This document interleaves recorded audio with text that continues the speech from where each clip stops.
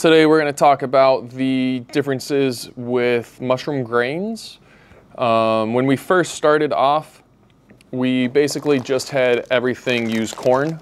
Um, we used feed corn to start off with, which I still personally, I still personally think is better than popping corn. Um, popping corn is made to just pop and be light and fluffy.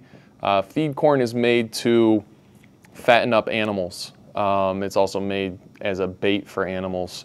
Uh, so it's it should have a lot more sugars in it than popping corn. Um, unfortunately, feed corn also has a lot extra, a lot of extra material in it. So there's more uh, cobs in it. There's more like stalks and stems in it, um, and it also just doesn't look as good. Uh, so unfortunately, due to bag appeal, um, we don't use feed corn anymore. Um, we use the popping corn now. Popcorn or corn is probably my favorite grain to grow with. Um, it holds the most amount of moisture. Uh, by weight, it holds usually around 75% moisture. Um, so every pound that you put in, you'll get about one and three quarters pounds out. Um, mushrooms are 90% water by weight. So having more moisture available, you're going to get bigger or more abundant mushroom yields.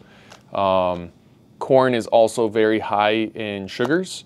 Uh, there's a reason why we we all know about high fructose corn syrup and not high fructose oat syrup. Um, it's it's just really easy to pull all that sugar out of corn. Um, some people do the whole drippy corn thing where they uh, coat the outside of the kernels with sugar, but I personally don't think that it uh, is necessary, especially with how fast corn is regardless. Um, I think that just increases your chances of uh, running into issues later on um, during the grow. So we skip that part for these days. Uh, one of these days we might try it out. Um, corn also breaks up really easily. Uh, with the large grains, you can kind of break them apart, so it makes your break and shakes a lot easier than, uh, say, millet. Um, it's not super dense, but it's dense enough to uh, fit in a bag nicely. So, yeah, I really like corn. Um, I definitely recommend it. Uh, after we um, after we decided to start making different types of grain, we started using oats for a lot of our stuff. Um, our second variation of all-in-ones was oats. Um, oats are really good. They are easy to hydrate and they hydrate really well. Oats usually holds around 60 to 75% moisture by weight. So it holds a decent amount of moisture. Um, it again is a larger grain, so it breaks apart pretty easily.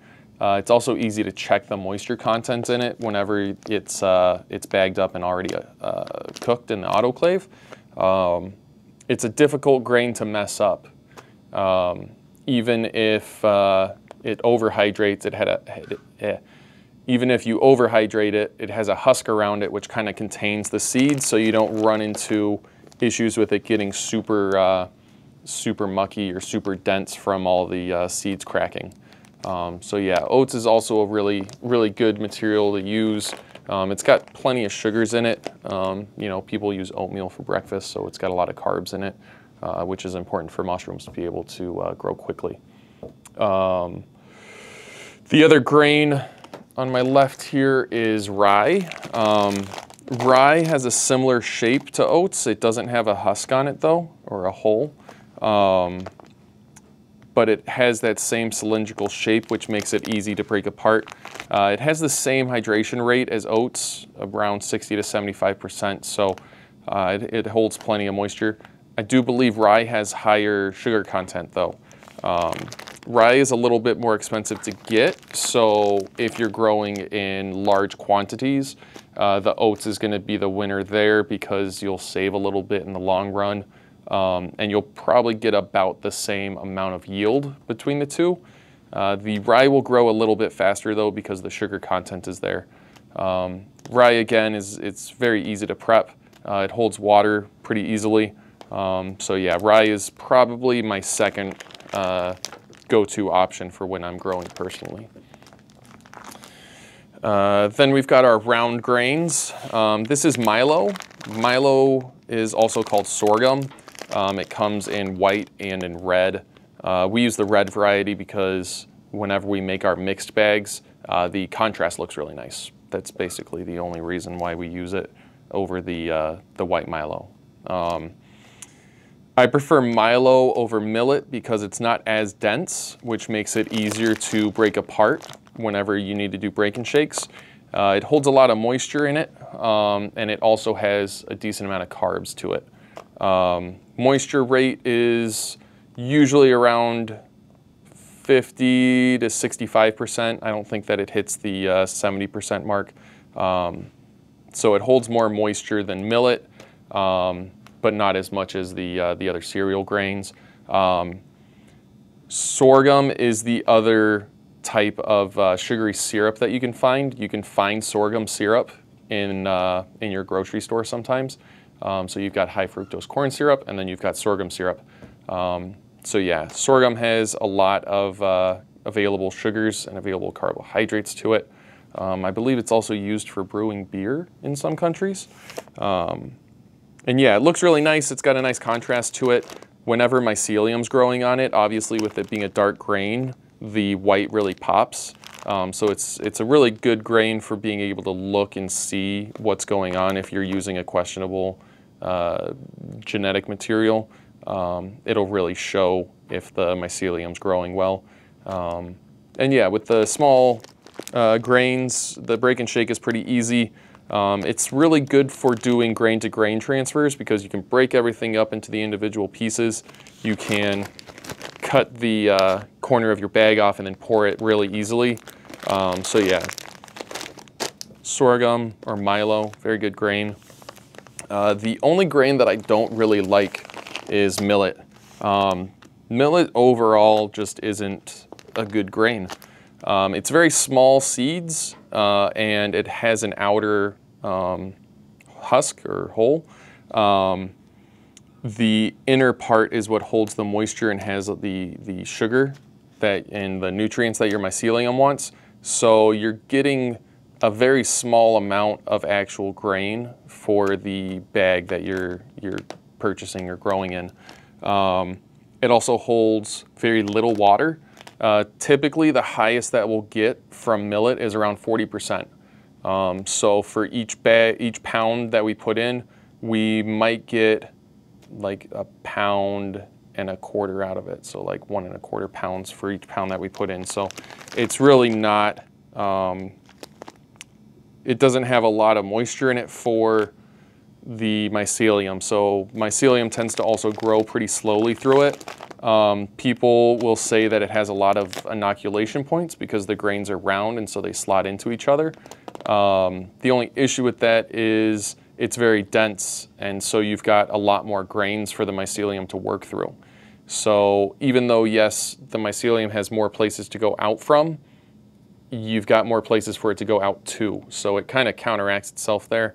Um, and then whenever you factor in that you're getting less uh, sugar content and less uh, nutrients and less moisture, it's just not going to grow as well as other grains. Um, for whatever reason, a lot of younger uh, growers and newer growers uh, gravitate towards millet.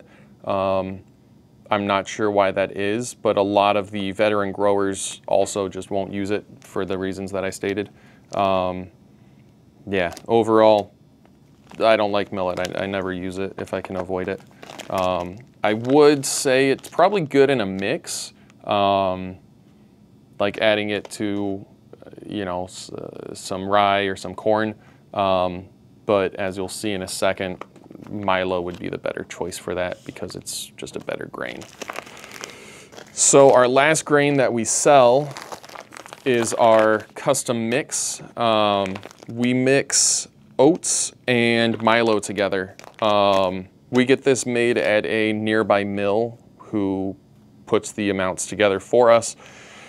They also put a little bit of corn into the bags for us as well, um, just to have little, I guess you could call them like hot spots of sugar for your mycelium to grow into. Um, the Oats and the Milo both hold relatively similar amounts of moisture. Um, the reason why we do the Milo and the oats is because the oats is pretty uh, cylindrical and so it all slots into one another and then the Milo being round circles kind of fills in the gaps. So you can see this bag is slightly smaller than the oat bag, so it's more dense. So that means that the mycelium will be able to travel between the grains a little bit faster. Um, and then, like I said, the reason why we don't use the millet is because there's not as much sugar in millet compared to Milo. It doesn't hold as much moisture compared to Milo, so uh, that's why we use the two. And then the contrast as well. It looks really nice. Uh, whenever I'm on the internet, if I'm on Reddit, I can see whenever a bag is ours. Um, if somebody has purchased our bag in the past and they're on Reddit and they see this mix, they know that it's from us because we're the only people that, that sell this.